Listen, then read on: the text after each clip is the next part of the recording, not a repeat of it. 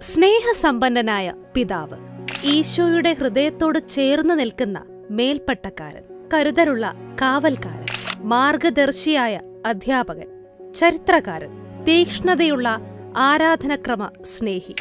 ചങ്ങനാശ്ശേരി അതിരൂപതയുടെ മെത്രാപോലിത്ത അഭിവന്യ മാർ ജോസഫ് പെരുന്തോട്ടം പിതാവ് ആയിരത്തി തൊള്ളായിരത്തി നാൽപ്പത്തിയെട്ട് ജൂലൈ അഞ്ചിന് പുന്നത്തുറ കോങ്ങാണ്ടൂർ പെരുന്തോട്ടം വീട്ടിൽ ജോസഫ് അന്നമ്മ ദമ്പതികളുടെ മകനായി ജനിച്ചു. പ്രാഥമിക വിദ്യാഭ്യാസത്തിനു ശേഷം പാറയിൽ സെന്റ് തോമസ് മൈനർ സെമിനാരിയിൽ ചേർന്ന് saint Berchmans college Changanassery saint Thomas apostolic seminary Vadavathoor എന്നിവിടങ്ങളിലായി secular വിദ്യാഭ്യാസവും സെമിനാരി പരിശീലനവും പൂർത്തിയാക്കി. ആയിരത്തി തൊള്ളായിരത്തി എഴുപത്തിനാല് ഡിസംബർ പതിനെട്ടിന് മൈലാപ്പൂരിലെ അത്ഭുത ശ്രീവായുടെ തിരുനാൾ ദിവസം തിരുപ്പട്ട സ്വീകരണം. തുടർന്ന് അതിരൂപതയിലെ വിവിധ ഇടവകകളിൽ ശുശ്രൂഷ ചെയ്യുകയും പിന്നീട് അതിരൂപതയുടെ മതബോധന കേന്ദ്രമായ സന്ദേശനിലയം ഡയറക്ടർ ക്രിസ്ത്യൻ തൊഴിലാളി പ്രസ്ഥാനത്തിന്റെ അതിരൂപത ഡയറക്ടർ അൽമായർക്കു വേണ്ടിയുള്ള ദൈവശാസ്ത്ര പഠന കേന്ദ്രമായ മാർത്തോമ വിദ്യാനികേതന്റെ സ്ഥാപക ഡയറക്ടർ എന്നീ നിലകളിൽ സ്തുത്യർഹമായ സേവനം.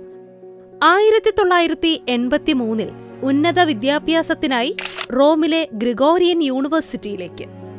അവിടെ നിന്നും സഭാചരിത്രത്തിൽ ഡോക്ടറേറ്റ് നേടി തിരികെ എത്തിയ പിതാവ് Kottayam Vadavathoor saint Thomas apostolic seminary മാങ്ങാനം M O C എന്നിവിടങ്ങളിൽ പ്രൊഫസറായി നിയമിതനായി. ആ കാലഘട്ടത്തിൽ തന്നെ അഭിവന്യ മാർ ജോസഫ് പൗവത്തിൽ പിതാവിനോട് ചേർന്ന് മാർത്തോമ വിദ്യാനികേതന് തുടക്കം കുറിച്ചു.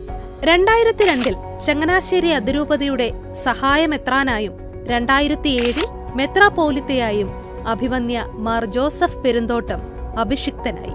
പതിനാറു വർഷം ചങ്ങനാശ്ശേരി അതിരൂപതയുടെ മെത്രാപോലിത്തയായി സ്വന്തം മക്കളെ സ്നേഹിക്കുകയും പഠിപ്പിക്കുകയും നയിക്കുകയും വിശുദ്ധീകരിക്കുകയും ചെയ്യുന്ന ഞങ്ങളുടെ പ്രിയപ്പെട്ട പിതാവ്. ചങ്ങനാശ്ശേരി അതിരൂപത കുടുംബം ഏറെ സ്നേഹത്തോടും ഒത്തിരി പ്രാർത്ഥനയോടും ജന്മദിനാശംസകൾ നേരുന്നു.